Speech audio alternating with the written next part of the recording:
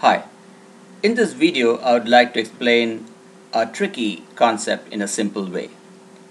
There is a mass m1, a blue box, which comes in at a constant velocity and collides against a spring and block system on the right hand side. The green spring is connected rigidly to the brown box.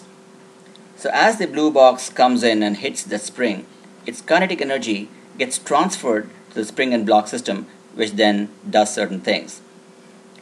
So here's the animation for that. The blue box comes in at a velocity, the spring gets compressed, and finally it expands and the brown box moves away. To understand what's happening here, the blue box which came in at a velocity v1 and a kinetic energy half m1 v1 whole squared hit that green spring. The spring pushed back on it so its kinetic energy reduces, the blue box decelerates. Part of that loss in kinetic energy is transferred to the spring as well as the brown box. And that's why the brown box also gets kinetic energy and starts moving away. Now at the point of maximum compression, we have to understand what really is happening here.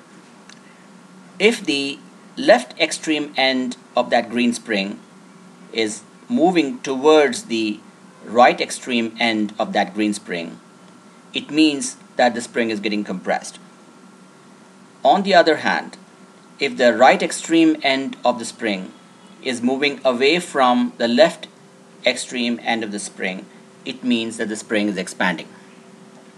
So, the physical and mathematical condition for maximum compression of the spring in this case is that there should not be any relative velocity or relative motion between the left extreme end and the right extreme end of that spring.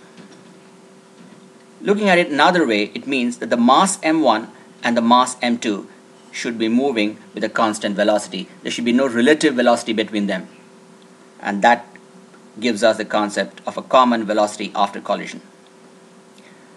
Therefore, it's possible to work with the kinetic energy equations and the law of conservation of momentum. Now in this final stage, the blue box is decelerated a lot and the energy transferred to the brown box makes it accelerate and it moves away and that causes the expansion of the spring. I hope this video was clear. Thanks and have a great day.